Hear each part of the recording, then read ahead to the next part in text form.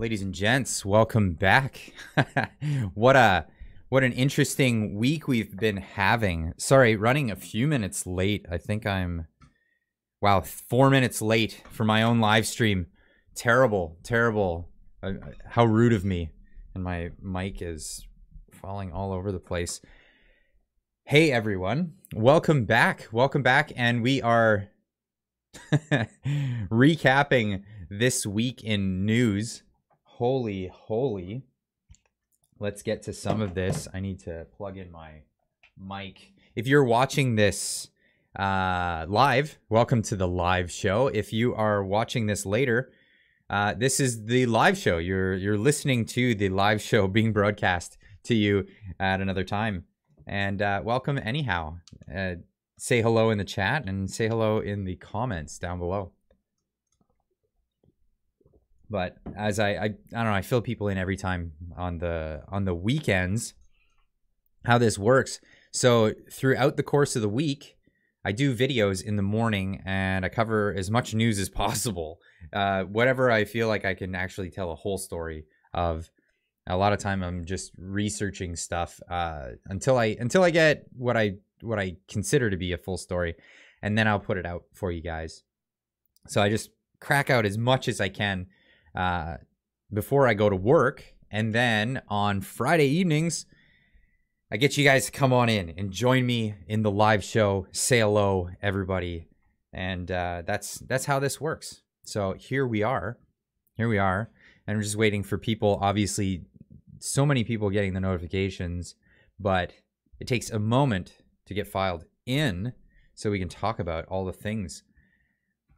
I'm not getting a chat refresh on that stream page. Hmm. Hmm. Not getting that. Unfortunate. Unfortunate. Oh well. I'll rely on the chat window over here. I'd like to get that going. There we go. Hey, hey, now we're getting some analytics. We're seeing who's in here. Now, quick question. Quick question. What was the most important story of the week for you guys? Um, I, I could tell you, judging by the analytics, was uh, Justin Trudeau's trip to the European Union. That was uh, that was quite the uh, embarrassment of of all times. I still looking at this headline. I have it up here. CBC lies. The CBC claims that Justin Trudeau received a standing ovation for his speech in the EU, failing to mention that over nine tenths of the parliament left in protest before he began. It's just like, oh, oh, brutal. This guy, this guy, just nobody seems to like him. He's the, you know, the coward, coward of the cottage, getting himself out there in front of. it's funny when he's hanging out in front of his WEF buddies. If he goes to Davos, he maybe has a little bit easier time. But now he's he's in front of actual representatives you know um, people that people vote for these people and they represent the people. Uh, justin trudeau not not accustomed to that arrangement as it seems. But yes what what an embarrassing week for the the wee the wee wee tyrant the wee tyrant man interesting stuff but yeah, a bunch of stories I couldn't get to. Um, some stuff that I was doing research on, and I'm I'm still I'm not sure if I've got a full story for it, but we could talk about it this week. Uh, well, tonight we can talk about it tonight in this live stream. Um, do do do do do. Lots of stories. Uh, this one this one really made me laugh today uh, Toronto Star. I didn't get to read the article because it's always locked, and I'm sorry, Toronto Star, but I don't want to pay for your terrible publication. So I'll just read the headline and the first couple of words, and then just uh, click back on the search browser, and then just take it from whoever plagiarized you, because that's the name of the game in journalism these days. Read somebody else's article, and then publish their article just in your own words, right? This is uh, it's that or learn to code. Was it really about vaccine mandates or something darker? Something darker. The inside story of the convoy protests. A Canadian protest movement appeared to be fueled by opposition to COVID 19 restrictions, but conspiracy theories swirl just below the surface. These writers, they should really be writing for fiction. Some of the some of the stuff that they come up with, I mean, I mean, it is it is fiction. I mean, what else do you call this? It is fiction. But uh, you know, you probably sell more copies if you did it for, you know, did it in a, you know, paperback version, get it published, make sure it's on every grocery store shelf, and put a scary clown face on it. Because it is Clown World, folks. For three weeks this winter, a so-called, you know, we need the um, we need that trailer guy in a world, in a world where COVID nineteen seems to be the problem, but just under the surface, there's terror. it's just it's absurd. It's absurd. I love it. So I couldn't read the whole article, so I'm gonna X that one out. Here's here's a similar article that I thought was kind of funny. Uh, instead, that I that I can read a majority of. The Ottawa the Ottawa convoy showed exactly who Canada is, and we can't just move on. Yeah, it just cracks me up. So, uh, what what angle do they have on this one? How are you going to smear a bunch of people? And, and this is this is the best way that they do it. They're gonna the writers will smear the an entire movement because if you smeared an individual like this, it's it's called libel. you can get sued for it. So what they do is they sue they smear an entire group or category of people, and then they're they're okay. They can do that. Look look at Trudeau's eyes, hatred or barely coping. Yeah, he's he's out to lunch. He's out to lunch. I think he's just he's got his lines, you know, the puppet master in Davos. He's got his lines, what he can do. Uh, but we'll get we'll get to that. We will get to that. The Ottawa convoy has left, but Canadians have lost. As the waters recede, we're still trying to come to grips with how, for three weeks, the city where the power of the federal government sits was able to so easily be so easily occupied by a convoy of truckers who entered Ottawa under the guise of opposing man vaccine mandates. While Canada continues to contend with the fallout, it's clear that the convoy the country is not ready to face the white supremacist seditious elements within. you can't you can't make this stuff up, folks. This is from Yahoo News. This is actually published by a person, right? Erica Ifill. She's got her she's got a full fill, you know what I mean? Like she's she's got she got the full fill on in her whatever university she went to. Jeez. Wasted some money wasted some money on a crappy education. Folks, get into the trades. no, they don't teach you this stuff in the trades. I'll tell you that. Uh, where are we? The extremist elements that have been emboldened by Donald Trump's president. Why are we talking about Donald Trump's presidency? This is Canada. These writers, they're just really reaching, reaching, reaching, reaching. Trump's presidency around the world are here to stay in Canada for some reason because Canadians and Donald Trump, that's a thing. And that's the fear that it'll happen again. I'm a black Canadian columnist born in Ontario and raised in Alberta because that only matters to people who think that I you know this your identity is defined by your your race, creed, or color. Most people don't think that way. This is uh, that's absurd. So when that when those are the most important things for you, you have to mention it in your own article. And I can see something rising in the tide of hate. Yet when I write about it, I talk about it. I often feel I'm screaming into a void. you're screaming, you're screaming, you are screaming into a void. You're screaming into something. I I just and and this is the this is the thing, folks. I read through these articles to find news for you guys, and I have to find myself in these articles reading this garbo. It's absolute garbo. Actually, this one this one was sent to me by someone named Nicholas, and thank you, Nicholas. Uh, someone's no, not Nicholas. Somebody else. Nicholas sent me something else. I'm gonna share that later. Uh, someone sent me this and said, "Oh, we should sue them." you can't. You can't because they're uh, they're clearly they're covered because you're talking about a swath of people, not individuals. CBC lies. Amanda Pfeffer lies on CBC. Excuse me. I'm not sure what who that is, that reporter. Ladies and gentlemen, I'll tell you. They, it it's hard to find a, a, a CBC reporter that's going to tell you the the God's honest truth. You're you're hard pressed. You're hard pressed. They are there. There's one guy that followed uh, the Trudeau regime through Europe for the CBC, and he said he had some he had some truth bombs of his own, and he had some hard hitting questions. I'm I'll I won't be surprised if he doesn't work for the CBC very soon. That's uh that's definitely ugh, that's the way she goes, you know. That's that's just the way she goes. I need to pop out this chat. Let me get this into a better location so I can see and read it a little better. Maybe increase the size of it. Hey, hey. Wow, look at that. I can see. I got my old eyes.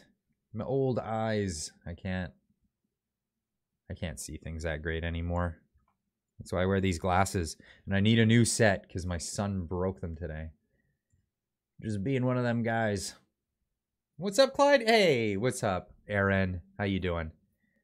Sorry, just getting the chat in order so I can read this stuff. Love having you guys around though. Uh, these these live streams are super fun. I really enjoy them.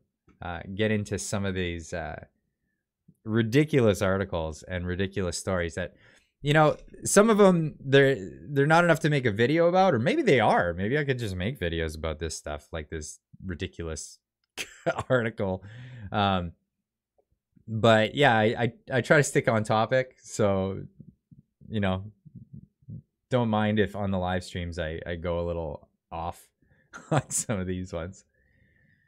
While there has been a course of radical opposition to the government sanctioned injustice, mostly by people of color, white Canadians aren't used to aggressive protests or those that reflect scenes of clashes with the police that are more commonly in American demonstrations of civil disobedience.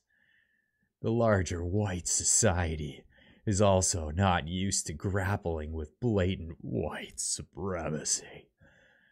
They are not used to anything but peace, order, and good government. well, well, we're used to yeah, we're used to peace, order, and good government, and then we didn't get good government, and and in protest, we we saw just how not good of a government there were. Oh, they had to double down and put this. They had to quote themselves in their own article. You know, when you quote yourself in your own article, that's a, a special level of mediocrity. that's a special like that person that person got the uh the attendance award in school. You know what I mean? Like that that is a person that when you know, when you don't have anything nice to say, people don't people just say thanks for coming. that that person, yeah, definitely got the participation award. I've been writing about the threat of white supremacy for about 5 years. Sorry, I was just checking to make sure that I'm still in okay good books on YouTube here for some of the words that are being used in this article. Get your ham radio today.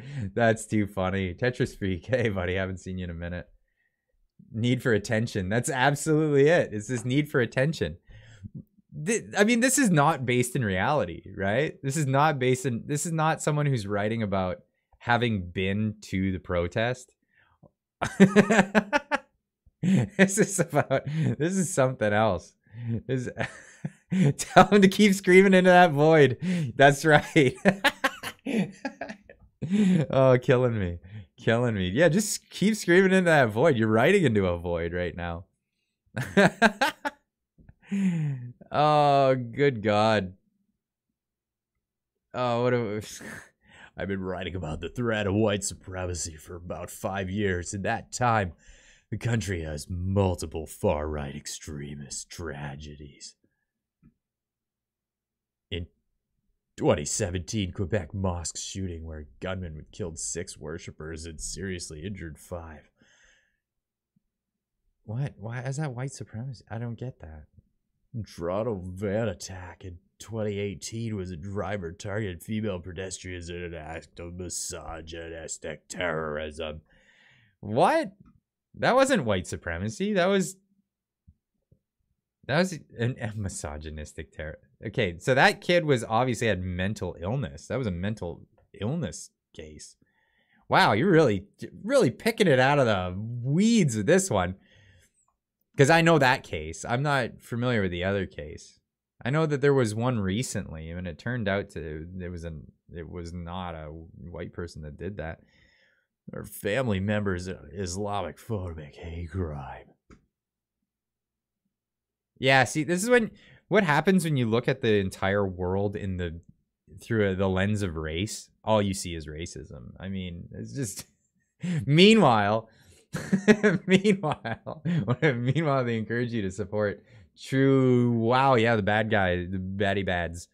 I've got I've got some on that tonight. I'm gonna talk about that, uh, Mr. Dupont. We'll be talking about that. Um, but yeah, uh, like I said, when when you look through the world, of the story continues. Yeah, okay. Well, I'm just gonna give up on that one. No thanks. it's just Oh, it's I mean it's it's fiction. It's fiction. It's fiction that doesn't have it's it, it's not a thing. It's not a thing. And and I say this because I grew up in Canada. I've I've grown up in many towns in Canada. I grew up in Windsor, Ontario, melting pot of multiculturalism. Mo- you know, a lot of my friends growing up were of different races and colors and creeds and religions and whatever. Nobody cared. It wasn't a thing. We had the Carousel of Nations in Windsor, Ontario, and every year each uh each community because there was like these uh cultural centers, right? There was like the Scottish club, the Croatian club, the Indian club, the Turkish club, the whatever, right? They had all of them. Indian club and people would people would go and visit all the different cultural centers uh, during the Carousel of Nations and try each other's cultural foods and and all of this stuff. It was great. Evening, evening, Mike T. Excuse me, I had a little in the throat, but yeah, this uh this new phenomena of like all of a sudden everything is about race and and religious uh marginalization like what? Since when? When did that happen? That just came out of nowhere. It snuck up behind everybody and and uh from went from a moment where nobody cared about it to all of a sudden a few people care a lot about it that never had anything really bad go in in their favor but that's that's a thing pretty sure that the majority of the world is accepting of racial and ethnic differences, but the government wants us to believe otherwise. I agree with that. I agree with that, Dave. Yeah, no, the um the idea here is that yeah, we we we're all hating each other. There's supremacy of all sorts and uh yeah, no, it just I I don't see it. I don't see it. Show it to me. And especially if you if you're saying that it's systemic, well then show me the law Show me the law that says that, and I'll help you fight it. I'm, I'm with you. I'm with you on it. If there's a law that's racist, I'm I want it gone. I definitely want it gone. Most people don't know this because, like, uh, I don't know if you noticed, but I'm a white guy. um, uh, but uh, you know, people throw that people not knowing my situation throw that label at me. But I, I I'm in a, a multiracial marriage and we have mixed children and it's it's really funny because um yeah i don't know. I just i hadn't noticed. Yeah right? I hadn't noticed. But how can you tell right how can you tell you can't you can't really because like the, the amount of people that i've met that come from some other religion that you, you don't you don't know what religion people are in. You you can't tell. That's that's on the surface stuff. Judging people by the way they look is called discrimination, and I don't agree with it. I think you should uh yeah, right. You're white? Oh my god. Um yeah, I, I think judging people by their appearance is called discrimination. I don't agree with that, and um, I'm gonna I'm gonna stick to that one. I'm definitely sticking to my guns on that. But uh yeah. Back to back to good old JT because that picture just popped up in my window. Are you surprised that Europeans don't want Trudeau's advice on how to fight tyranny? What? What? Oh, that's the face. That is the face when uh you're talking to an empty room. I couldn't help it. That, that made me laugh so much when I saw that. I'm not gonna lie. But hearing the speeches, and I, I want to. Uh, there was yeah, there's Miss Miss Anderson, Mrs. Anderson, Christina Anderson, amazing. She had this great speech, but she had the other one. Let's find her other speech. Just bear with me one moment, because uh, hers went viral Christina Anderson. She had her her video that went viral, which I thought was really funny. Um, Butts was trending again today, and I and I tell you guys, I go on Twitter so you guys don't have to. That's the just keep telling you that. this is uh, yesterday. Canada's Prime Minister visited the EU. I'm gonna get my headphones on for this, but this is her speech. Let's have a listen again. Because this is just so good.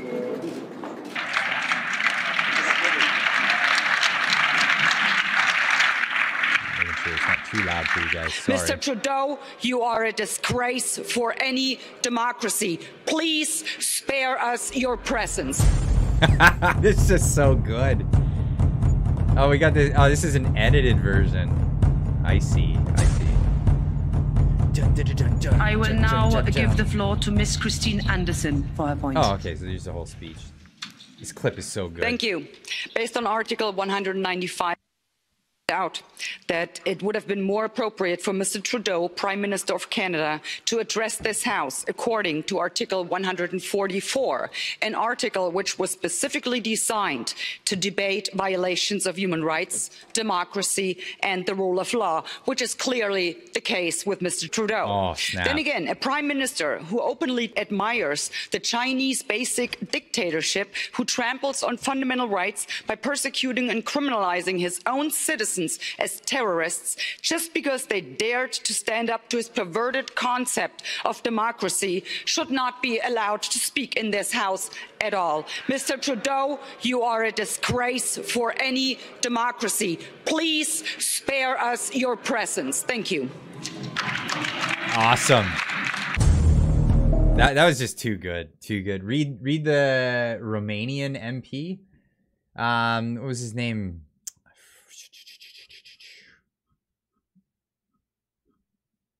It was like Taze, Terez. What was his name? The Romanian MP. I know who you're talking about. I saw his tweet. I'm gonna have to find that. Hmm, I had that. Terez. That's right. Boom. That was a really good one. That was actually really good. So he actually did not go in and do a speech again because he'd done a speech previously. Uh, but what he did, and I'll try to find it because I think I might have it saved over here somewhere, somewheres. But uh, he did a speech previously railing on Justin Trudeau during the convoy. Yeah, there he is, right there. Pop that up.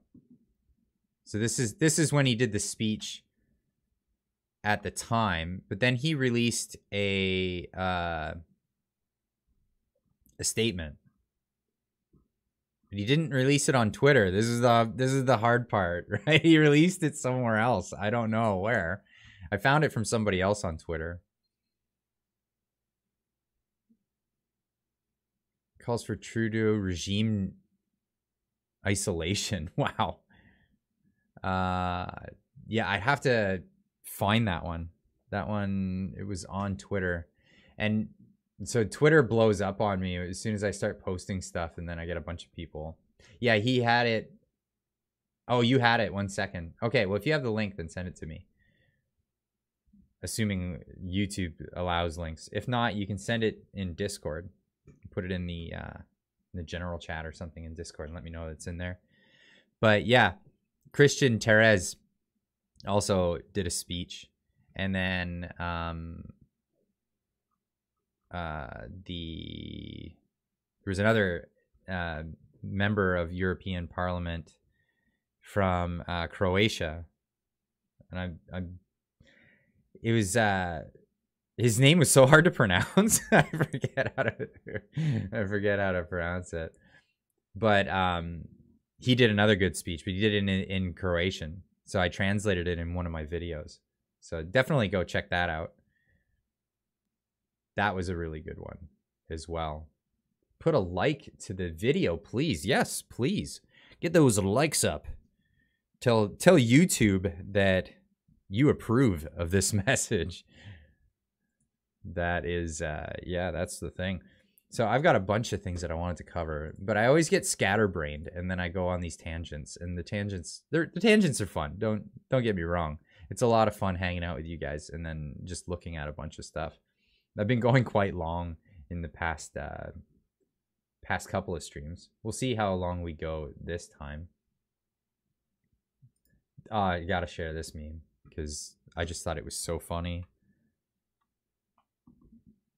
Stop eating meat and pay more taxes to change the weather. I just that one really that one really stuck with me. I don't know why. That one really killed me. just some of the memes that people share in our in our Discord server just just knock me out, kill me. So got to share them. We've got a bunch of stories this week and it's funny, I'll go back and look at some of the other stories that I I had. The news changes so quickly. You gotta keep up on it, or you're hooped. Pay money or disable ad block. No, I'll just do neither and just block the ads. Thanks. I don't get to see your pictures. That's fine. This from the Ottawa Citizen. Masks should stay on in school. CHEO chief of staff says this is a funny part. Everybody's over COVID. It's done. Like, get over it. Just straight up get over it. The rest of the world's moved on. Uh, it's no longer the the thing to support of the day. Like, it, it seems like you have like NPCs or their Wi-Fi's like malfunction. They need to like unplug for 30 seconds, plug back in so their Wi-Fi can connect to the network again. So they can realize that all the NPCs are being told to redirect to another uh, I support this in the current moment. but there's a bunch of them that are like, nah, I'm still on that mask thing, masking up. Protect us from the uh, the thing that uh, is transmissible no matter what. You're not getting around it. But uh, like ah, you need a mask to save us from those eyebrows, lady. At this point, I believe the wisest course is for masks to stay on at schools while we wait to see what happens with the lifting of protective strategies. Well, the thing we should do is keep the protective strategies and wait to see what happens with the protective strategies, says says Mrs. Bean. I don't know. So, uh, with COVID related emissions ticking up again at CHEO. What is CHEO, by the way? Child Health. What? It's it's not telling me. Okay, C H E O. At Chio. Anyone in the chat know what Chio?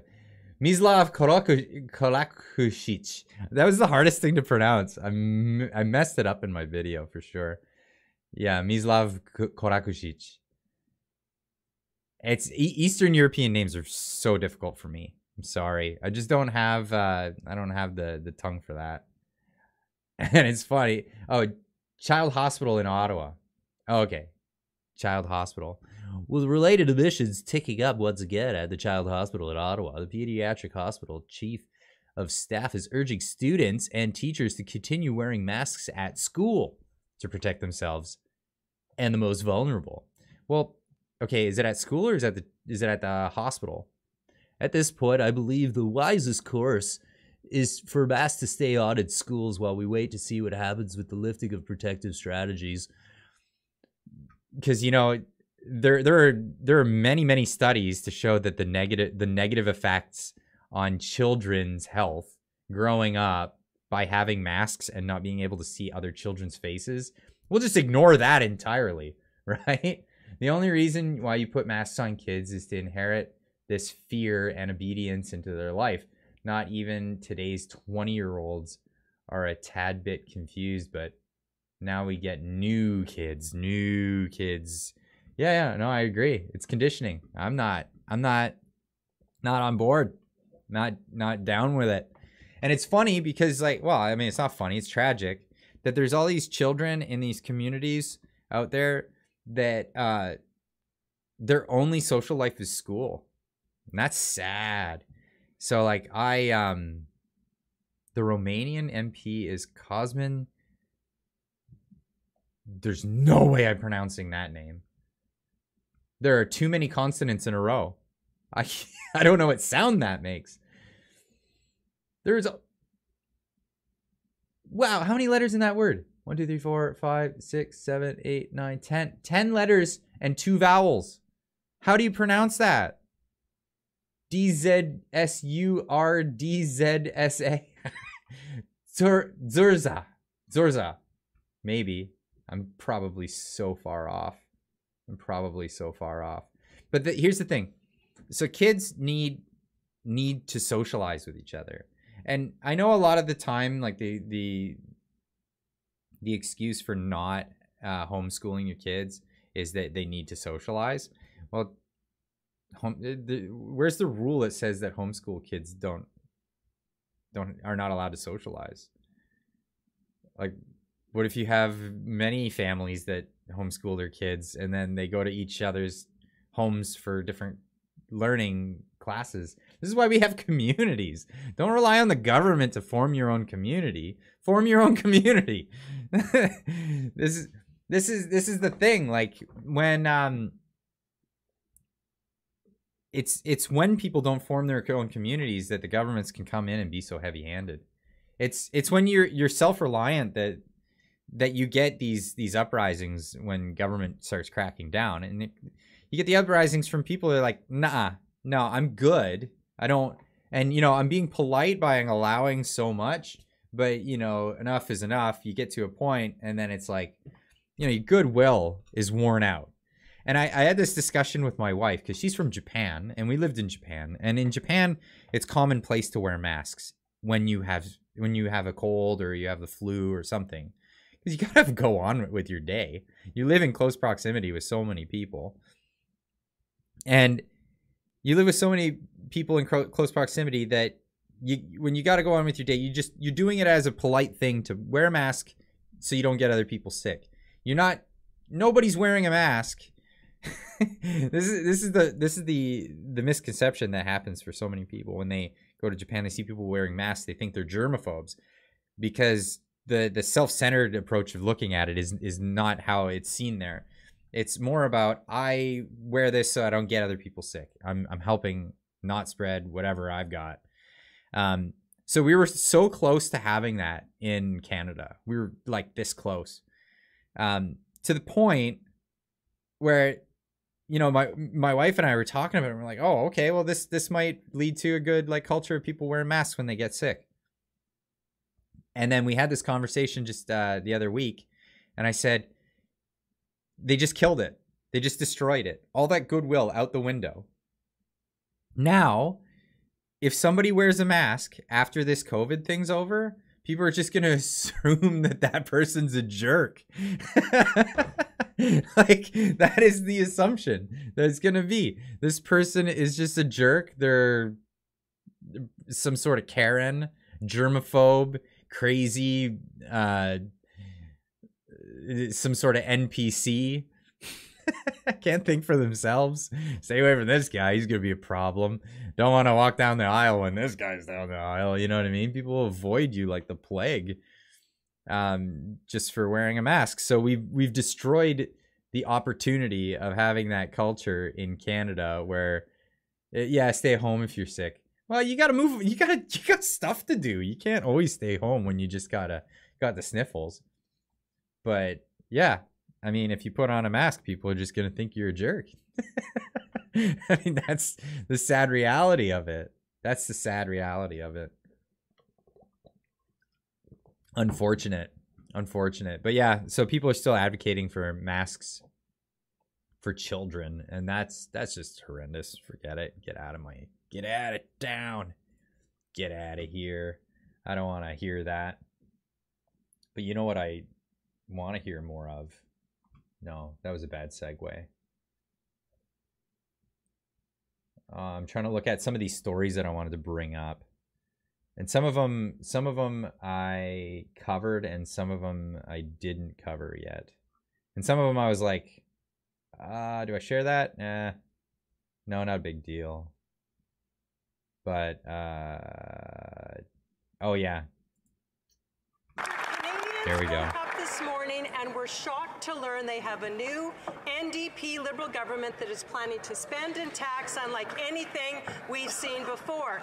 Now things are starting to make sense. Now we understand why the NDP have been so eager to prop up the Liberals and their unethical behavior. It's because they have been cooking up a secret backroom deal. My question to the leader of the new NDP Liberal Party is this. When did he start these secret talks with his new Deputy Prime Minister, the member for Burnaby South? Was it before, during, or just after the last election? The Right Honourable Prime Minister. Okay, so platitudes. I'm sorry, I gotta call the conservatives out on this one, but like, where were you? Where were you in this? You platitudes, just uh, so much. I mean, they, these guys are supposed to be the opposition, but they're just watching it all happen. Like, uh it's I'm I'm so frustrated with them because they're they've they're so neutered as a um as a party. They just they have the they have the opportunity to seize the day and they're just like but but my political positions, I'm just to wait and see I'm gonna just see what the waters look like. I don't know how this is gonna turn out. I'm gonna sit sit around and I'm gonna wait, and I'm I'm not gonna take a principled stand on anything. I'm just gonna follow the the polls and see what happens with the the popular thing in the moment, and uh, I'm just gonna I'm just gonna let it all play out, and then I'll do my political play so I can get reelected by the same people who always reelect the conservatives, you know, working class people who have no other choice until the uh, the PPC came along of somebody else to vote for. And they should really be concerned about the PPC because the PPC are coming in and actually giving some some real principled stands. So platitudes, platitudes. Thank you very much. But we're we're still here in this world, and I posted this. Uh, I posted this earlier in the week, and this is, you know, the World Economic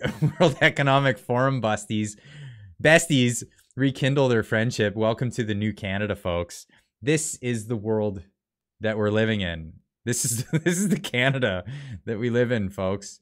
We've got Jagmeet Singh and we've got Big Trudy in in loving embrace and it's not good for anybody. this is not this is not good for anybody. Terrible, terrible, terrible thing. Uh, that killed me though. That definitely killed me. Yeah, Titanic. yeah, that's uh that's the thing. I have a screenshot of that post I shared at work. Everyone laughed. Libs and conservatives, great. Too good. Too good. But yeah, that's uh that's that's old Jaggy boy. Jaggy boy and Big Trudy. The Jag Trudy. The Trude Trude Singh. This is this is not a good alliance. This is not a good alliance. And not not only that, it's not it's not good for oh am I seeing a rose because you're talking about the new rose party? That's in Alberta. That's just an Alberta thing. The jag off. that pick was great. Yeah, no, that pick I had to share that. I just had to share that out because that is that is the new Canada. Un- until until possibly until 2025 ladies and gents that is terrifying. That is a prospect i don't want to consider seriously. Honestly. That's terrifying to me. But that's that's what we're looking at. Get a good look. I'm not keeping that on my screen for much longer. But who are these? Who are these new newfound friends? Are they newfound friends? Have they always have they always been friends or have they always been rivals? How do we know? How can we tell? How can we tell? Well, we can go over to their other organization, the one that they um, that they're more religiously following than the Canadian Parliament or government or country that they're citizens of. And that would be their World Economic Forum. this is this is where they are. This is this is where their allegiance is. We've got our Jagmeet Singh leader, Canada's New Democrats, New Democratic Party. I have to explain to my American friends what are the New Democrats? What's the what's this NDP third party you have? Well, you've got the left, you've got the right, and then you've got the lefter. So this is the lefter party. this is the out to lunch party. The wef the wefties. Oh my god, I am not losing that one, Tony. That one's great. Thank you. Wefties. You got you got lefties and then you got wefties. Yeah, this this is our government. We've got World Economic Forum uh, this is the the new majority government deputy prime minister and prime minister and the former deputy prime minister Chrystia Freeland who is if you scroll down and read her her bio on the World Economic Forum she was awarded free she is a member of the forum's board of trustees. Now, when this is all over, when this is all over, we need to uh, we need to seriously have a referendum in this country to make sure that you don't have other allegiances. If you don't have if you have other allegiances, I, I think that should make you exempt from uh, eligibility for running for office or being in office or a bureaucrat of the country. I believe uh, that's that's a clear conflict of interest here. A clear conflict of interest, and this is why we have our old turtle Klaus Schwab in Canada, getting his Schwab all over everything, and uh, yeah, it's it's horrible. It's horrible. It's it's a, a massive conflict of interest. But I started looking more into Chrystia Freeland because she seems an interesting character, right? She she wasn't on my radar at all for a long time. I didn't know what what was her deal. So I started doing some digging and I found she had a book on Amazon. I hope I'm not doxing myself with any of the info here. but she wrote a book called Plutocrats, which is an interesting title, where she actually rails against the World Economic Forum. She wrote this book back in. When was this? She wrote this back in October of 2012. So she decided she was going to rail against the World Economic Forum. She writes here, oh, gotta zoom that in. In the last few decades, what it means to be rich has changed dramatically. Forget the 1%. It's the wealthiest 0.01% who are fast outpacing the rest of us. Today's colossal fortunes are assumed by the diligent trolling of smart, perceptive businessmen who see themselves as deserving victors in a cutthroat international competition. Crackling or cracking open this tight-knit world is Chrystia Freeland, an acclaimed business journalist and at ease in Davos and or Dubai. Freeland has reported on the lives and minds of this new super elites for nearly a decade grounding her interviews in economics and history of modern capitalism, she provides examples of the new wealth and its consequences. She showcases the three million dollar birthday a party of what birthday party of New York financer financier months before the financial meltdown details the closed door 2005 SEC meeting where US government allowed investment banks to write their own regulatory laws and tell how the banks the Bank of Canada Marks Carney became a key figure in the central battle between uh, the plutocracy and the rest of us. Brightly written and powerful, powerfully researched, Freeland's plutocrats will be a lightning rod event in the midst of the U.S. re-election season, uh, or election season. And then she was so clever about it, they recruited her. That's it. That's it, folks. Now she's a board member. She wrote a book talking about how bad they are, and now she's a board member. Now, it's not it's not the only uh, history that she has. Really interesting um, history that this individual has. Now I where was I? Where was it?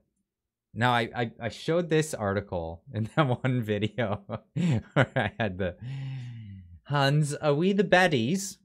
Chrystia Freeland's granddaddy was in was indeed a Nazi collaborator. Oh, I said I said the bad word. I hope that blah, blah.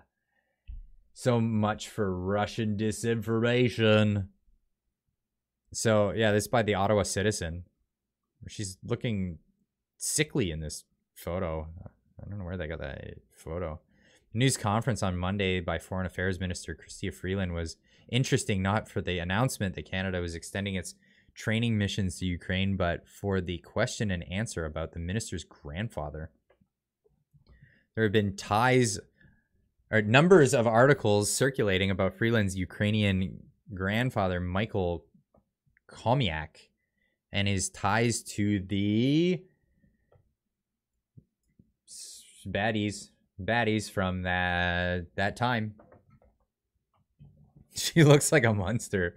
Wow some of those articles have appeared on pro Russian websites. Freeland, who's strong support for Ukraine and is a major critic of Russia seizure of Crimea, suggested to journalists that articles about her grandfather were part of a Russian disinformation campaign.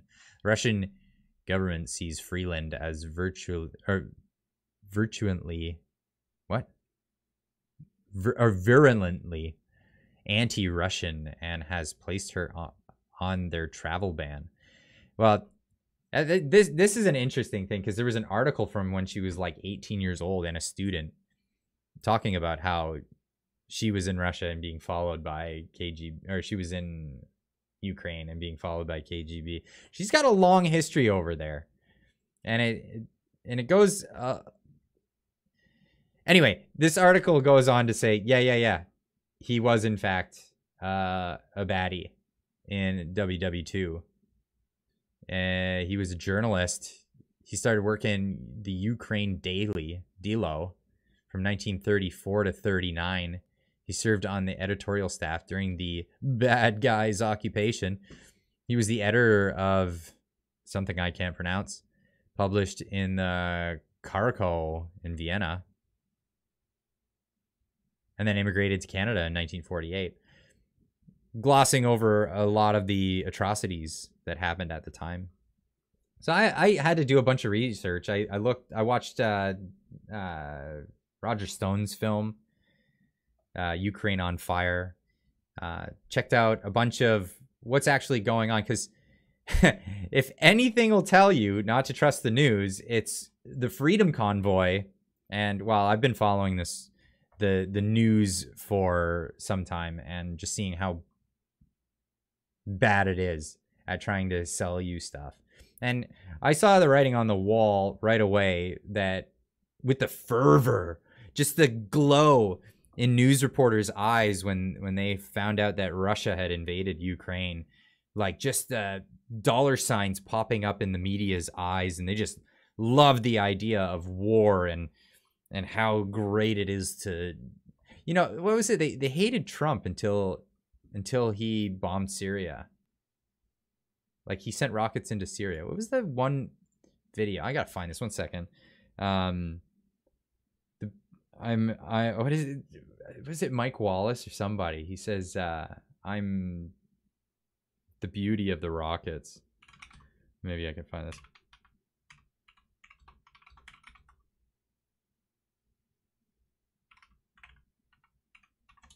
Let's see if I can't find this. It was like I'm I'm guided by the beauty of our weapons. Was it?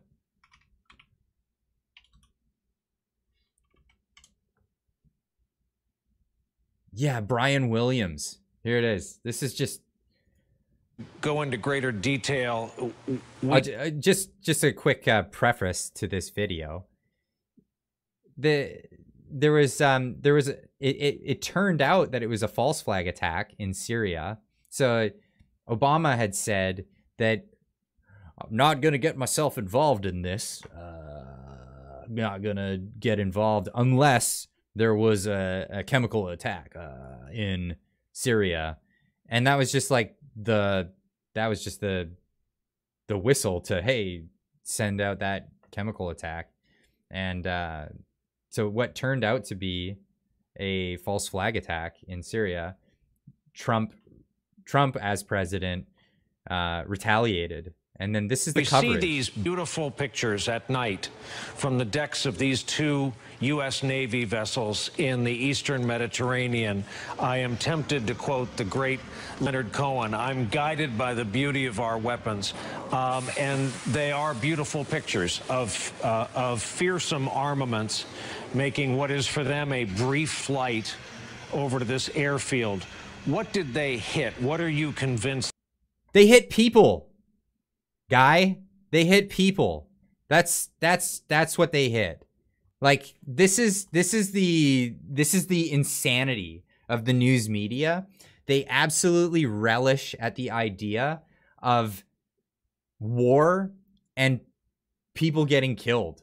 Like that is terrible. That is absolutely terrible. I don't support this one bit, one bit at all. So like and and people will get the wrong idea. I think they get the the idea wrong on purpose. They'll uh because they they're picking one side over the other and the Clyde you're carrying water for the Kremlin. Uh, no, I don't I don't support that at all. I don't support invading countries.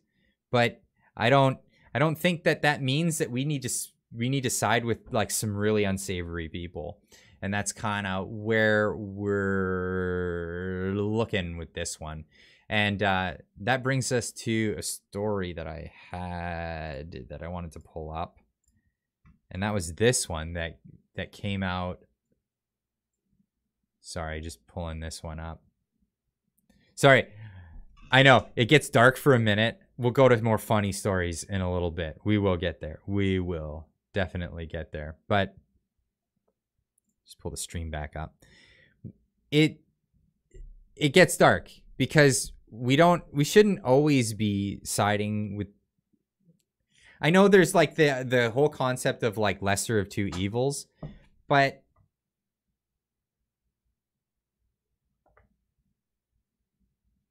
uh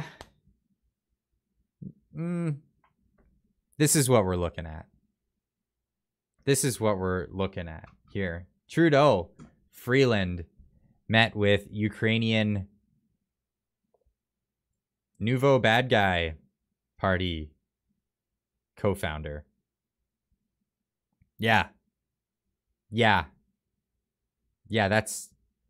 And was this a long time ago? Was this. Was this. uh No, we didn't know who this was. And this isn't a bad source. This is True North News. Like, this isn't some, like, fringe weirdo website. Yeah, this is this is a thing, right?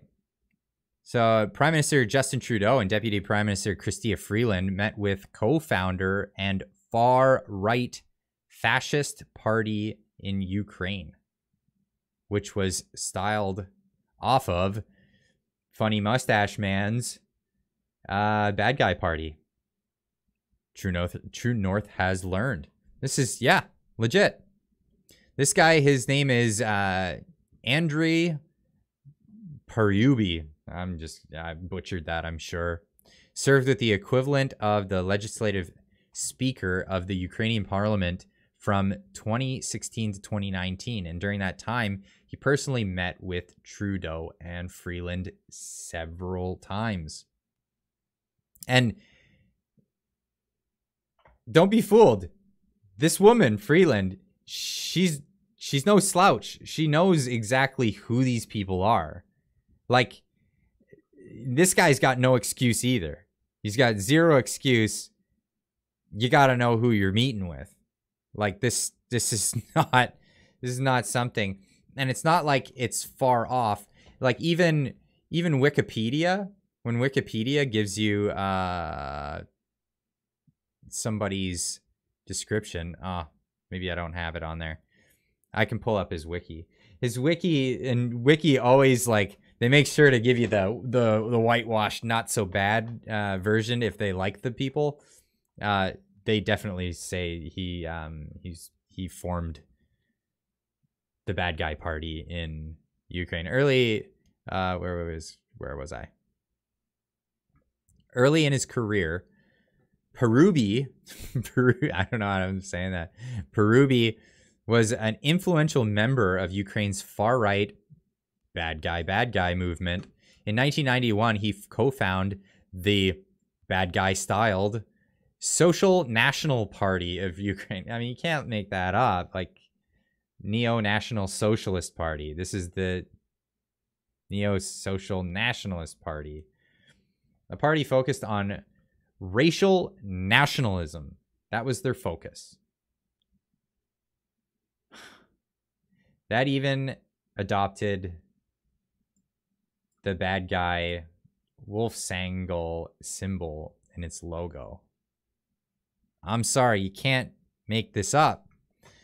According to a report from the Jerusalem Post, which the Jerusalem Post would probably uh, be keeping tabs on who those bad guys are for good reason. As recently as 2016, Parubiy made anti Semitic comments. He accused Jews of sending convicts to settle eastern Ukraine and trying to destroy the genetic memory of the Holodomor. This, this is awful stuff, folks.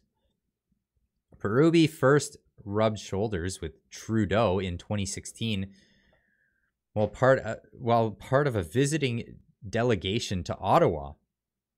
The Ukrainian ambassador embassy to Canada detailed the meeting which also included the then Minister of Defense, Harjit Sajjan. This guy's meeting with bad guys. During his visit to the capital of Canada, Mr. Parubiy held a number of fruitful meetings with Canadian government officials and politicians. Okay, it just goes on to say, yeah, yeah, yeah, we meet with bad guys, no problem, but you won't talk to truckers. That that is that's just beyond me. And then to get up to get up in front of the uh, the parliament and accuse accuse your fellow parliamentarians of standing next to uh, the crooked the the bad guy crooked crosses. I don't know if I can say that word. I gotta be careful, folks, on the words that I say. It's just it is a thing. It is a thing. But yeah, unbelievable. Unbelievable. They're not scientists. what? I missed the context on that one.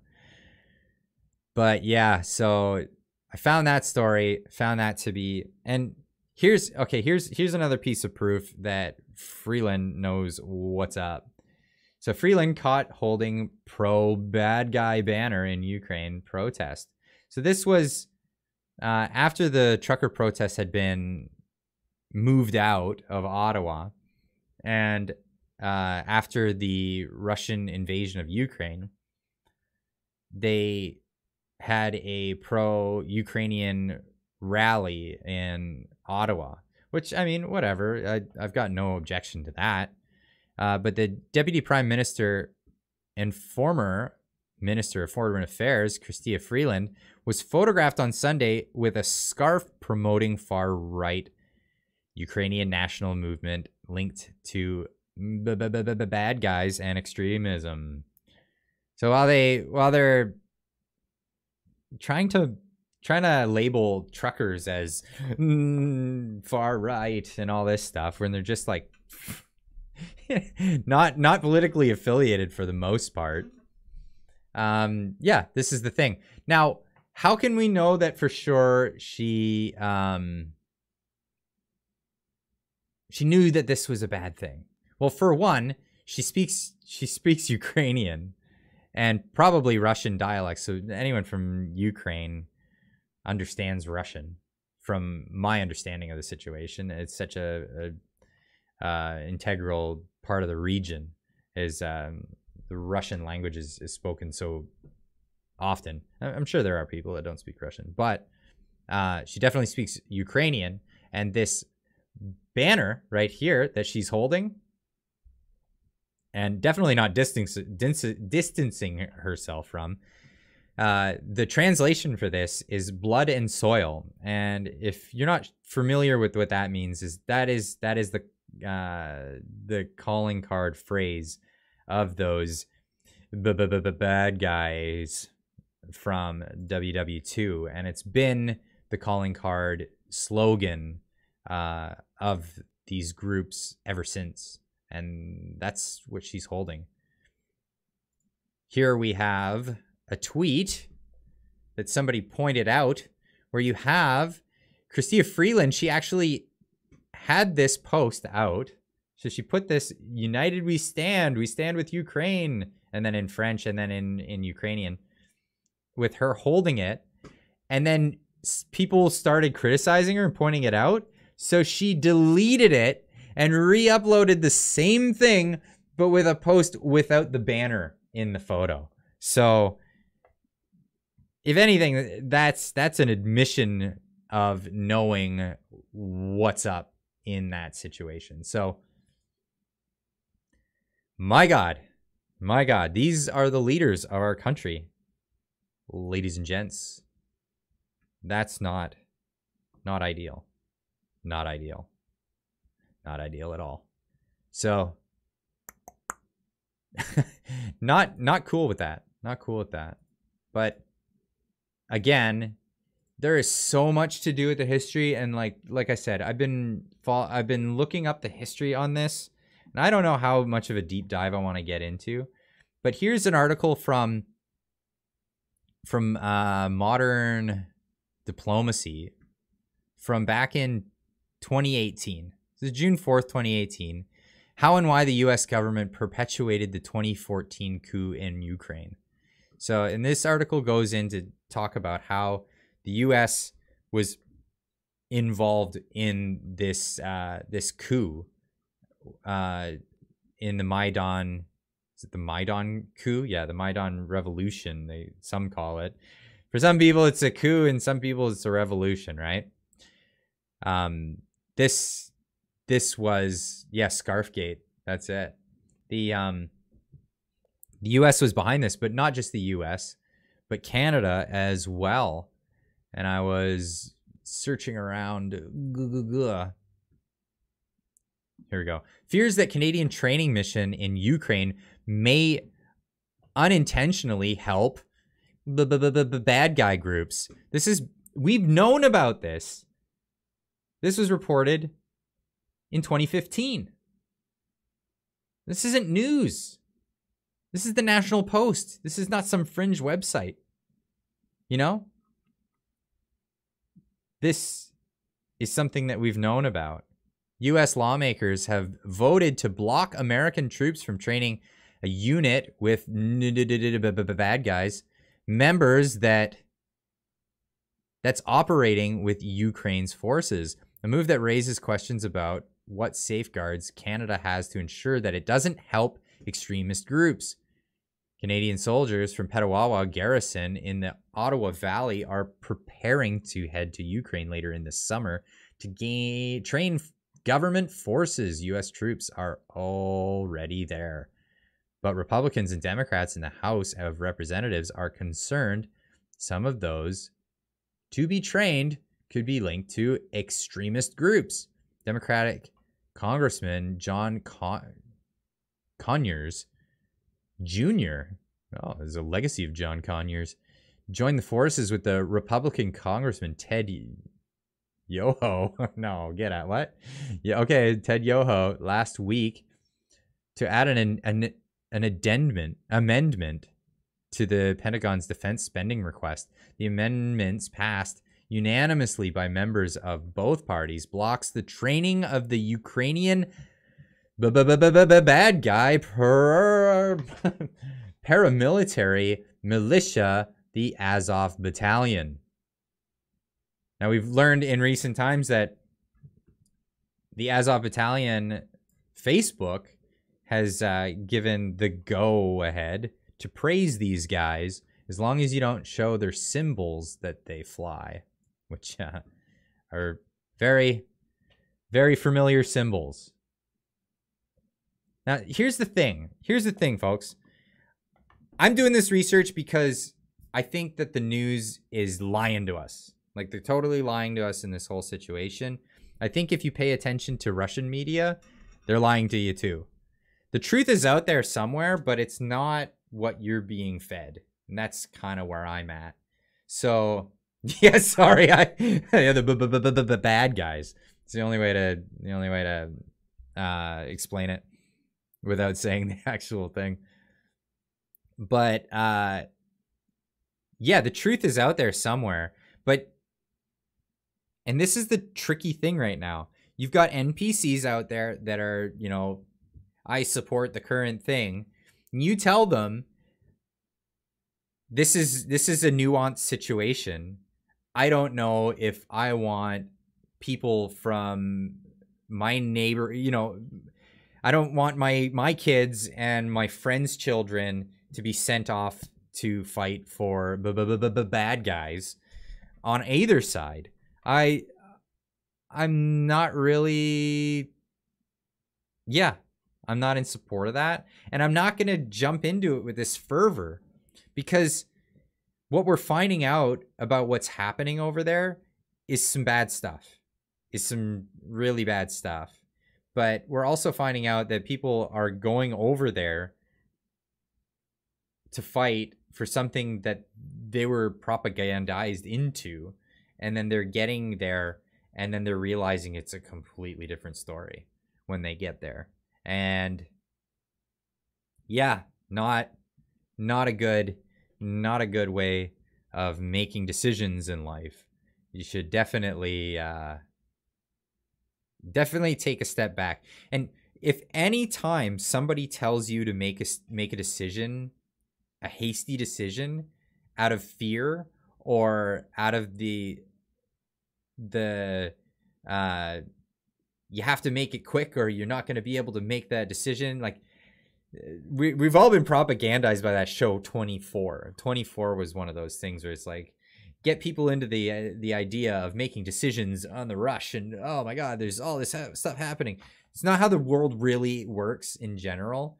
You can typically take a take a step back and go do i support this thing? You don't have to jump on it. You don't have to jump on it right away. And that was the thing like I was reporting on the the convoy, and then I I did a few reports on this Russia Ukraine situation, and holy cow, I was like, wait a sec, I need to back off and learn some stuff about this. the The Canada situation is so easy for me to report on because I'm from Canada and this is my culture. Do you watch or follow jo- Paul Joseph Watson? Yeah, I do. Yeah, anything goes is a great channel. Yeah, it's great. He's funny. Um, but yeah, if any time it's just it's these are used car salesman tactics. You know, don't fall for it by your politicians. Used car salesmen will say, "Well, I buy it within the next twenty minutes, and you get this amazing deal." And uh, yeah, well, the deal's always around, folks. You go to a website that says buy it now for 20% off, it's always 20% off. It's that's the thing you got to learn. Anytime somebody says insists on urgency, that's all the more reason to take a step back and think about it, consult some people, learn about what's going on.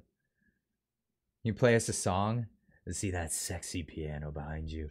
I need to I need to mic up my piano and get a get a camera over here so I can I can play some for you guys one of these nights. Right now just like because I'm I'm using this mic and it's it's the the the room noise it doesn't sound great. So I'll definitely I'll try I'll try to work on that. So I can I could play you guys some sexy tunes some night. That would be great. So what is the conclusion in all this? I don't I don't think we have a conclusion right now. And it, it definitely isn't up to me obviously. I don't think um I don't think uh I'm we're we're not solving the world tonight, folks. sorry, sorry, sorry to burst any bubbles. Um, but the world is nuanced. The world there aren't eh, there's no black and whites. Things don't work like that. And um, what's amazing to me is is how like from a like from a Western perspective, when we've seen the United States just trample on country after country after country and then you see Russia begin to do that. And we've seen all the lies that got us into all these other countries and what's going on there? Like ah hold on back up. Look back for a second. And uh yeah maybe we need to reassess. Maybe we need to reassess this whole situation. And i think um i think it would i think we need to rewind whoop, whoop, whoop, all the way back to Eisenhower's speech about uh, the dangers of the military industrial complex. I think I think that would be a great starting point. Go all the way back, all the way back, because I think that's really what's gotten us all into a world of trouble, and we would all be doing a lot better um, had we not gotten into this national security state apparatus and it's just it's becoming more and more and more. And it was you know it's over the years we've seen uh, you know the TSA happened. I was I was what 18 when when September 11th happened? And that was a, a thing that shocked the world. And then we got this new security apparatus in our own country. Got the TSA Canada has their own version of the TSA go back to Gen- General Smelty Butter Butler. I, I don't know if that's a joke. I don't know. I don't get the reference. But um, uh, where was I? Yeah, the the national security state came about, and when this COVID thing hit, I remember going to work and talking about it. And two weeks to flatten the curve, I said it was not going to be two weeks. and everyone's like, yeah, nah, nah, it'll pass. And uh, nope, nope, this is gonna this is gonna be something else. And then it started ratcheting in, ratcheting in, ratcheting in, ratcheting in. Smelty Butler General. I need to look that up. I need to look that up. But it started ratcheting in. And I said, I said to my colleagues, no, this is um this is gonna be around. This is this is gonna be like a whole new TSA. And it's gonna be around forever if we let it. And that's what we gotta we gotta fight. We gotta not let it. Someone get Clyde a new drinking bottle. You don't like my drinking bottle? This one's great. It's like the Galaxy.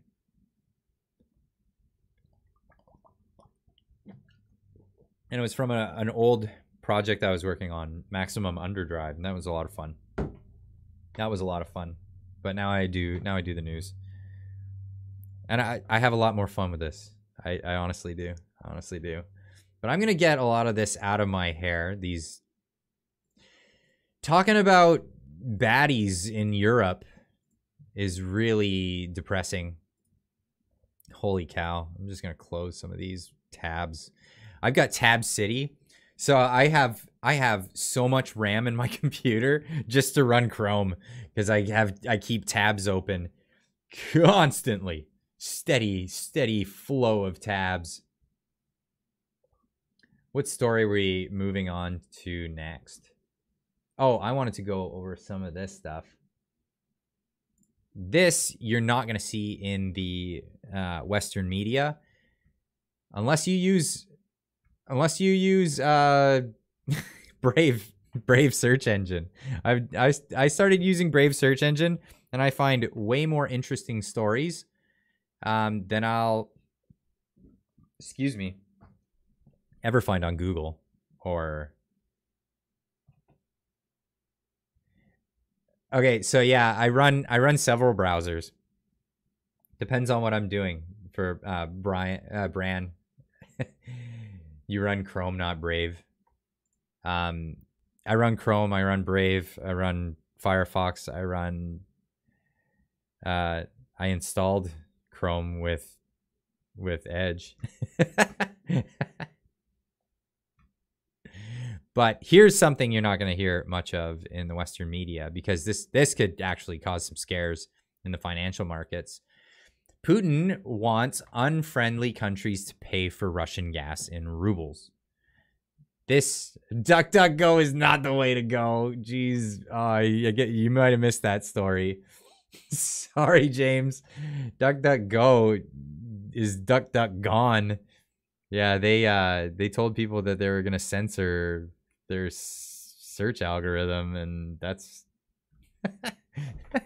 that's exactly what what Smedley Butler was a general in the USA, highly decorated socialists tried to use him to overthrow the government. Look into it. I am gonna look into that. Hold on. Ah, oh, geez, chat's moving. I'm trying to highlight something. I'm just gonna put that into my search over here. Da -da -da okay, that's I'm gonna look into that. Thank you for the information there. The more information, the better. The more, more better. Things are more better. Putin was wants unfriendly countries to pay for Russian gas in rubles. Why is this significant? Well, let's look into the story. Russian gas accounts for some 40% of European Europe's total consumption and EU gas imports from Russia have fluctuated between 200 million and 800 million euros. That's uh, 880 million dollars. I'm guessing USD a day so far this year. That is a lot. That's a lot of money. That's a big chunk of the economy. The possibility of a change of currency could throw that trade into disarray. Some European and British wholesale gas prices up around 15 to 20% on Wednesday. Why can that throw that? Oh, okay. The Russian trouble, oh, sorry, Russian ruble briefly leapt up to a three week high past 95 against the US dollar. before settling close to 100 after the shock announcement. Putin said the government and central bank had one week to come up with a solution on how to move these operations into the Russian currency, and that gas giant Gazprom would be ordered to make the corresponding changes to gas contracts. Is my stream buffering on your end? Because it was just buffering on my end where I was checking it. Let me know in the chat. Is it buffering? Um, with major banks reluctant to trade in Russian assets, some big Russian gas buyers in the European Union were not immediately able to clarify how they might pay for gas going forward. At the moment, we do not wish, we do not yet wish to comment, but we will be in touch once we have formed an opinion, says spokesman at Germany's Uniper. Moscow calls, calls the actions in Ukraine special military operation to disarm and deny bad guy, bad guyify its neighbor. Ukraine and Western allies call this a baseless pretext for war in, an, in the most NPC voice out there. yeah, okay. War is choice. Anyway, I'm not getting into the back into whatever the reasons for the invasion. Uh, essentially, what's happened here? This is big news. This is really big news. Uh, for some people who maybe don't understand the, how the markets work or what's going on in that, is um, so back in 1971 there was a, an agreement called the Bretton Woods Agreement, where um, uh, then President Nixon got this before my time even. Hey, and I know about history. So then President Nixon got on the television waves to tell everybody the, the dollar is no longer going to be backed by gold. They're going to be getting off the gold standard entirely. It wasn't entirely on gold anymore. Like it was loosely tied to gold at that time. Um, cause, but there still was a gold standard. So like constitutional money is supposed to be gold backed, gold and silver. There's like specific weights and measures for gold. But no, no, no, no. In 1971, g g g goodbye gold standard.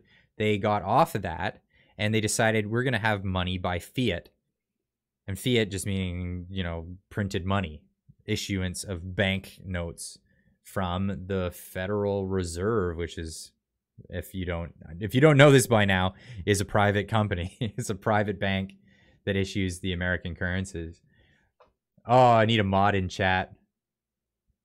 Or any of my mods in the chat, get rid of that. That one's got to go. Yeah, it was a terrible plan. So, uh, essentially, they got off the gold standard for the new Bretton Woods agreement. And what what was that agreement? Well, they agreed with particularly Saudi Arabia, the Saudis, to only buy and sell oil in dollars. So energy, energy, any energy. Bretton Woods was 1944. My bad. Sorry, the Bretton Woods agreement was was ended in in 1971 when they went off the gold standard. So this new this new um, agreement was the petrodollar. So the petrodollar came about as a replacement for the Bretton Woods agreement. That's that's what I, I think I was referring to. Anyway, yeah, fiat meaning fake fake money, but it is backed by a commodity in the in the fact that there are agreements around the world that everyone will trade energy in only US dollars. Now, why is this relevant to what's happening today? Well, if this this is really horrible. Um if this actually goes through, well that'll put a big a big cr- crutch in this whole plan of the United States dollar being sold or being the only thing that can be sold uh, energy in. So the the idea here is is particularly Germany really messed this one up right? Germany particularly messed this one up uh, for the West in general. The U.S. dollar could be screwed, yeah. Um, Germany just spent years getting rid of practical energy, right? They got rid of nuclear energy because environmentalists. I don't know why environmentalists don't like nuclear energy. Nuclear energy is great for the environment. Why? I mean, we you have nuclear waste, but we have nuclear waste facilities. The the the days of Chernobyl are over.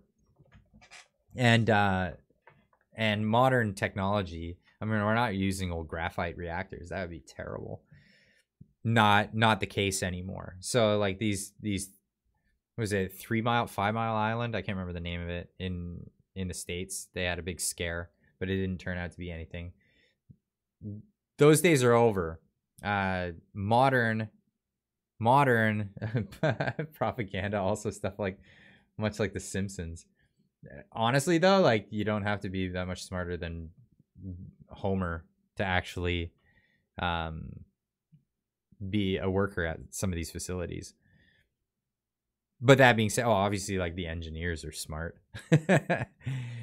but so Germany decided they're going to get rid of all of their nuclear power, and you can't just like when you get rid of nuclear power, like this is this is how the uh, your average environmentalist thinks, right? And I, and I hate to I hate to strawman people, and I hate to put I, I hate to make other people's arguments for them because it, that's not fair. Hey, when people do it to me, but seemingly this is the argument. Like, just turn it off. yeah, just turn it off. Like turning off a nuclear power station takes years. You you can't you don't just turn it off. You have to you have to find out where the new energy is going to be coming from. You have to use up all your stocks or sell them off to somebody else. You got to finalize all the equipment. You have to then you're then you're selling off capital. You're not going to hang on to it. The utility company is not going to just hang on to capital. You're going to take disassemble everything, sell it off. All the people that worked there have moved on.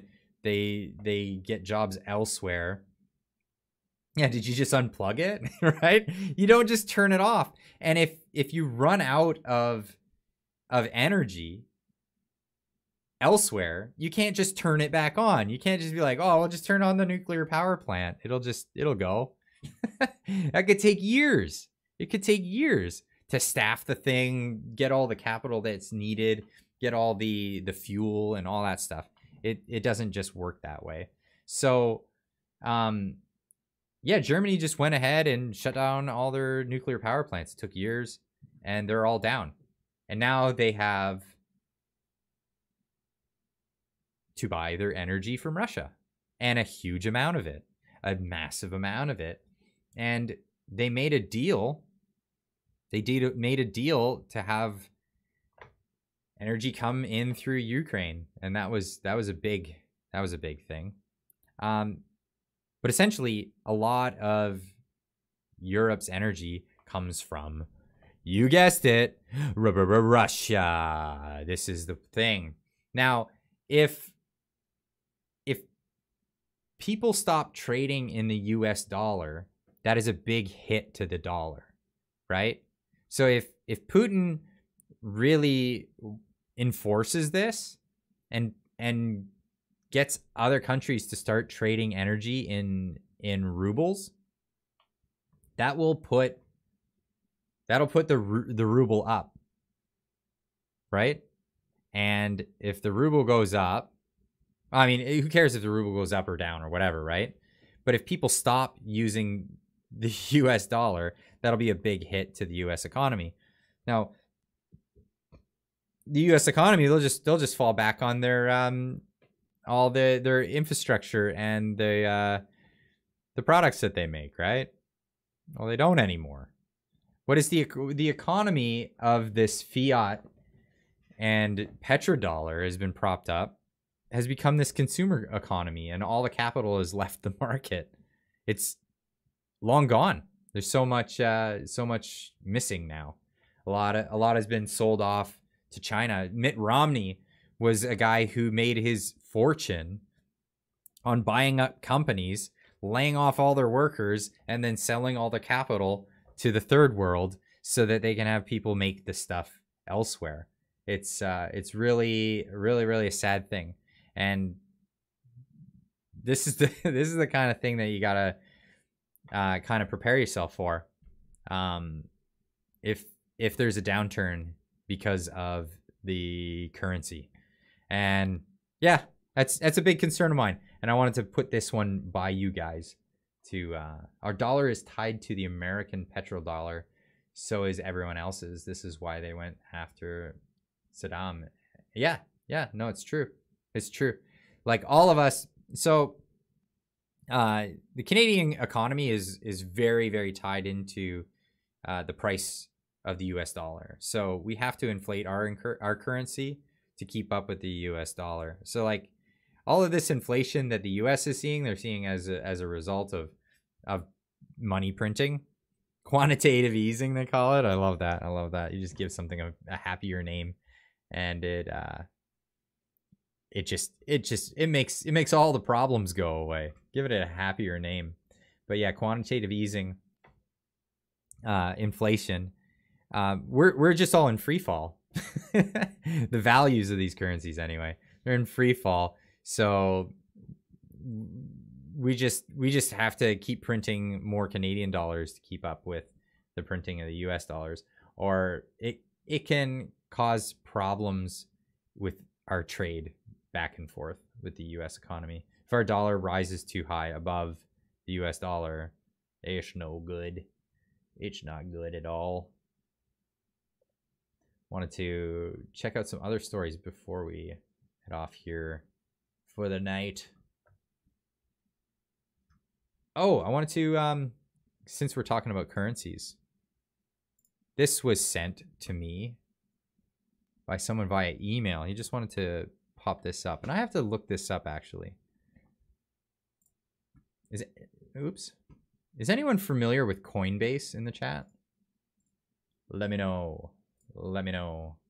What is Coinbase?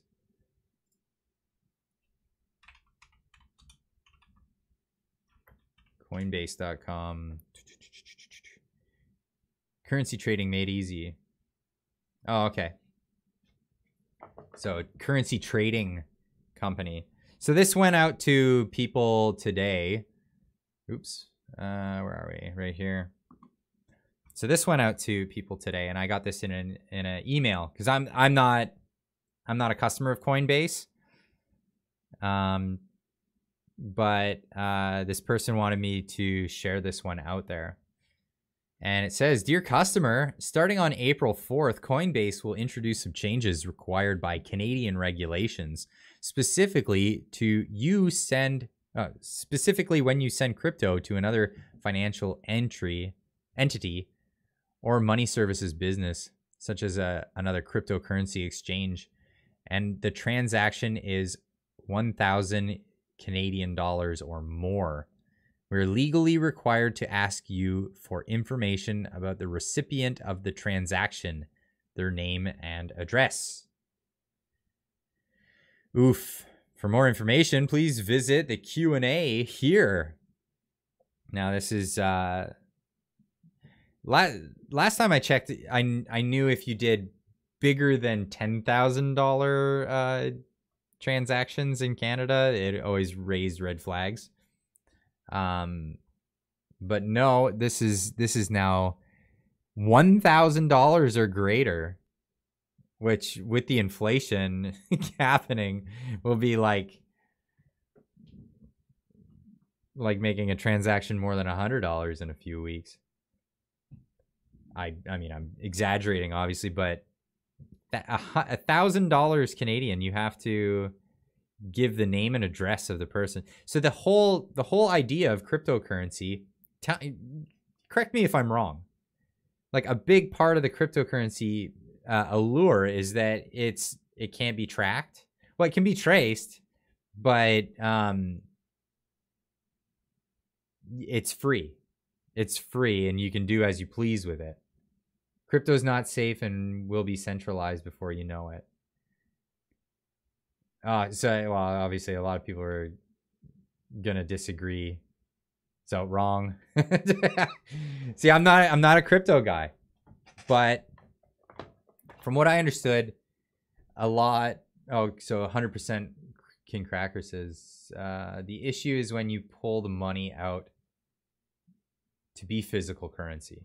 Okay, so it can't be tracked until you try to exchange it. Oh, crypto is 100% tracked and 100% traced. Well, yeah, because they each have they each have markers. Like they it wouldn't it wouldn't be individual uh uh unique coins otherwise. But the whole from what I understood, the whole the whole idea was that you could you could trade it freely and do as you wish with it. But now it looks like now it looks like uh, as soon as you get to an exchange, the Canadian government is getting their little dirty little mitts in there and they just want to get all over your everything because anything over a thousand dollars they gotta know about that was interesting so it was funny because like it was a bunch of years ago. The wife and I, we wanted to buy a car and we wanted to we wanted to be able to negotiate. So we were like, "Yeah, we're just gonna bring cash." And they're like, "No, please don't." Because anything over ten grand, they're like, "Nah, can't do that." And uh, it's easier to negotiate, I find, with cash. Cash is king, you know, as they say. They always say that. Uh oh, we're getting Rees in the chat. Rees. Oh, what was one of the? Th- oh, okay, this was one thing I wanted to go over. I'm gonna. I'll, I'll save the best for last. Um, I th- I think I have an article on it. I just have to find it. It was it's way up the list. And yeah, I know I was gonna get into the uh, the the Trump and Hillary thing, which I I think as I'm looking for this, I'll talk about a little bit. I think it's kind of funny that Donald Trump is suing Hillary Clinton and a bunch of people for the Russia collusion scandal, uh, BS that they ran, because uh, it turned out to be all BS. It all turned out to be BS. but um, yeah, uh, apparently, because he lives in Florida now, uh, he was able to file lawsuit in Florida. So it's a federal court in Florida, uh, which means that judges may be favorable to him. but he's suing for a big whack of cash uh, and damages against uh, Clinton and naming a bunch of other people in the lawsuit. And this is after a lot of uh, a lot of the details have come out. So I, I think he waited until until there was enough evidence to actually be able to go through with a, a decent lawsuit. Got to double check real quick, but I believe two people are in jail for the Russia Russia Steele dossier thing. Yeah, I think two people were at least indicted. Um, but uh, it's it's looking. I don't have that much detail wise. I think it's I think it's funny. So there's lots of this is going to be a big lol cow. Like I think this is going to be a lot of fun to uh just to watch happen. It's just going to be this like Trudeau Smollett like it. Uh this one's going to be a big lol, lol cow as it unfolds and as this lawsuit goes through because the media is going to have an implosion. You know they will. You know they will. Um, but yeah, that's one. Anal the analyst Igor edition. Oh, okay, I don't. Is that is that the guy that's in jail? Oh, he's in jail. Okay. oh, this is gonna be such a good lolcow. But here's uh here's a funny one that I wanted to put out there, and uh, I think it's funny because because it's stupid. if that makes sense. Uh and that's the idea of Diagolon. And if you haven't heard of it, I don't blame you. But it's this thing that started on the as an internet meme, and apparently it started with uh, this content creator that I, I'm not even really I'm not even familiar with. But uh Hello. I hope he doesn't Uh, swear. for or those of you who may not know who I am, my name is Jeremy MacKenzie, and um, I don't normally like to, to do these kinds of videos. In fact, I think they're kind of you know silly and um, you know um, just attention for the sake of attention's sake. However, And it's um, vertical. I have some very very serious things that I need to say, and um, if you care at all about what's going on in this country and uh, what's happening right now, please listen to what I'm about to tell you. I'm a 14 year veteran of the Canadian Forces. I retired in 2017. Since then, I've been. Um, Me, you at the pub in and, You know, kind of an internet show. Um, I'm a clown. I'm a comedian. I like to make people laugh, as many of you have probably noticed over the years if you follow any of my content. But if you don't, maybe more recently you've heard of me through the news or through the House of Commons debates, or now that has made its way up to the Senate chamber, uh, where they are debating on the future of this country in a very serious way. Um, if you're not aware of this, the Trudeau regime has enacted what was previously known as the War Measures Act, Okay, he's gonna go on. Oh, okay, this is long. Anyway, this comedian on a uh, during a rambling. I think here's the origin. Here you go, and this this is why it's got the diagonal thing. So the origin and meaning of Diagolon. What is Diagolon, and where did it come from? While conducting a live stream for his fan base fans one evening, a Canadian content creator by the name of Raging Humanist, now Raging Dissident, wanted to do a funny stream for his audience. He consumed several legally purchased marijuana edibles and began sorry, this is this text is terrible. Began sharing his stream of consciousness. I'm dyslexic by the way, so this is like always like real horrible when I get text that looks like this. Eventually, he deduced that there was a divide occurring between locations in North America. Common, uh, specifically, he pointed the common values were no longer shared along country lines. Essentially, what he said was, "Here's here's the deal." People over here and people over here don't share the same values as people right down here. So he said, we need to make a new country. We're going to call it Diagolon because it goes diagonally down from from uh, Alaska to Florida, and it's and it, it was a stupid rambling, and it and it was just funny, right? It was a joke, and like some jokes, people uh people take it to the next level in, in joke wise, right? Like it's not nobody's taking this seriously. Um, and they made these flags. Now, what this is, this is so reminiscent of a thing called uh, Kekistan. And if you're not familiar with Kekistan, let's search this up. And this was um, back a bunch of years ago. Was uh, Kekistan? uh, some of these images are really funny. Uh, so the land of Kekistan, and this was this was during like when the run up to Trump being elected. They made their own flag. Kek Kek the the K E K actually stood for LOL if you're like in some MMO game. I think it was uh, World of Warcraft or something like that. And hello from Alberta. Hello Alberta. And uh yeah, so Kek just meant LOL, so it's like Lolistan essentially. So Kekistan became this like imaginary country, and then people would show up with the flag to protests and stuff like that. And their mascot was uh was Pepe the Frog. Feels good, man.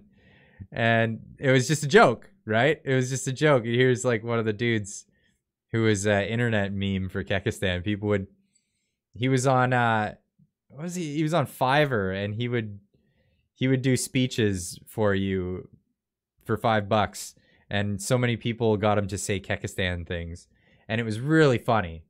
It was really really funny, and uh, but then people got salty about it, right? The media got really salty about it and called it this. He's still on Fiverr. No way. That's awesome. Kekistan president launches summer merch fair. Uh, he's cashing in on that. Uh, you can't can't blame the guy. Totally don't never blame the guy for that. Um, but so so that was a thing. So Diagolon is reminiscent of that. So I mean, I could search Diagolon. Let me just search Diagolon. I'm sure you get yeah, there's there's all kinds of images of it. Uh, it's just starting up, just starting up. But what you're already also also already seeing is uh, news articles where you have um,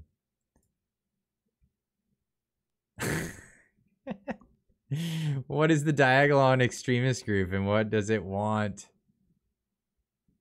What are the group's motivations? Like these are legit articles people are writing about this stuff. Like no joke. it's too funny. But it but it's a real thing. People global news Diagolon. The man who attended Ottawa protest convoy arrested on firearms charges. Is that legit? Like is that true? Did he get arrested on firearms charges? because I think that would have been in more news stories. The investigation began on January 10th after a video was posted on social media showing a man pointing a gun at another man's head. No thanks.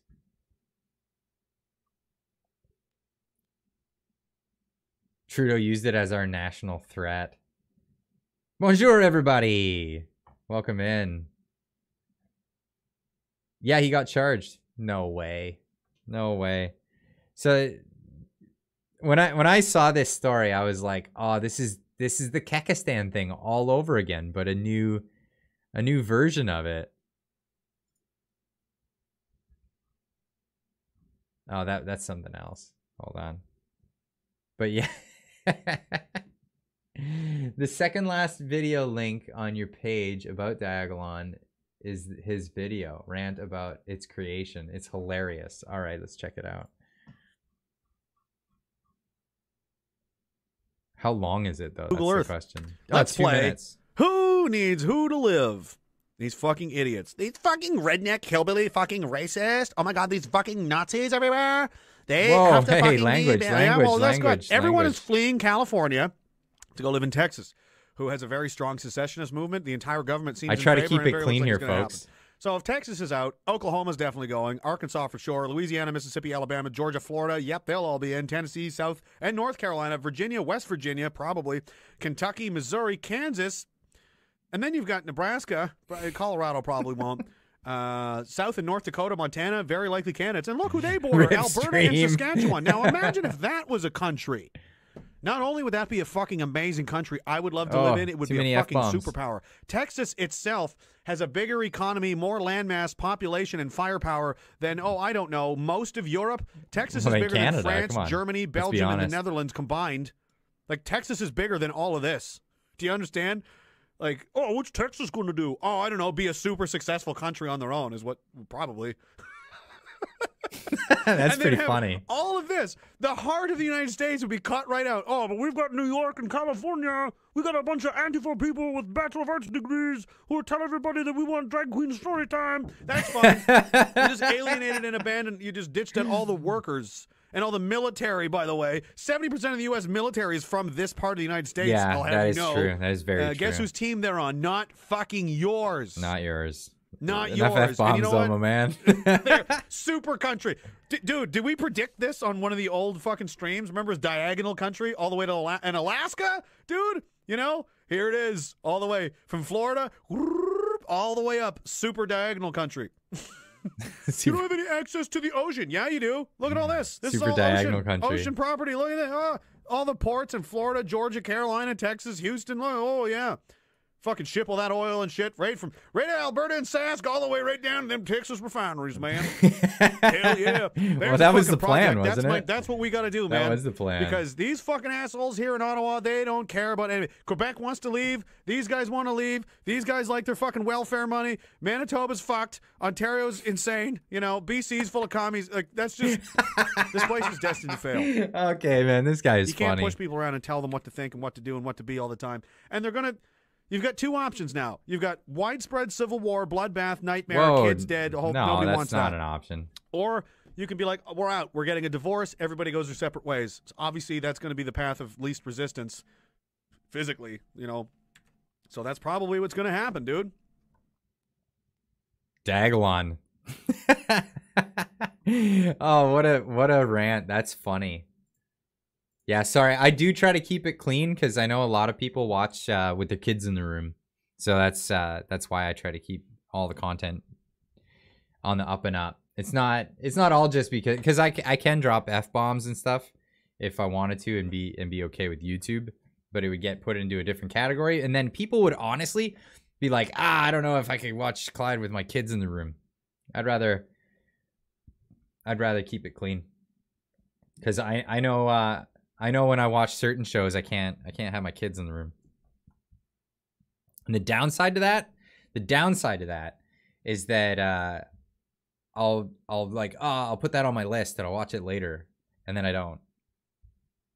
So sorry sorry all those creators that like dropping all the f bombs all the time. I got kids in the house and they're always like if I get my phone out and I look at it for a minute, it doesn't care. It doesn't matter if I'm wearing some, if I'm watching something that kids totally don't wanna don't want to watch. They're just they're they're sitting on my lap and they're just gluing their eyes to the phone. That's what they're doing. Yeah, kids are always watching. They're always watching. Live on Rumble. Uh yeah, I don't I don't multi-stream at the moment. I haven't been multi-streaming. Uh just been doing it here on YouTube's. But I do have a Rumble. Do have a Rumble. I don't have an Odysee. I'm gonna make sure I better get some of the other stuff. Can I see diagonal diagonal from my kitchen window? I like that. Uh Diagolon's a funny joke, but yeah, watch out because this is what the media does. Is they'll take they'll take a joke like that because they know that there's there's only like internet meme jokey people talking about it. And what they'll do is they'll they'll turn it into this sinister thing because people don't understand what it is. And they did the same thing with uh with uh Kekistan and they did the same thing with the Proud Boys. The Proud Boys were a joke. I don't know, maybe some later on people took it seriously, but that was a total joke. Um when when that was first invented. So that's uh Antifa Diagolon WTF. Yeah, exactly. StreamYard, that's another one. Oh, StreamYard is the app. I gotta I'll look into that because there there's I think that's what Viva Frei uses, right? And that's how he he uh, displays the super chats up on the screen when he's when he's streaming. I'll uh, I'll look into that. I'll look into that.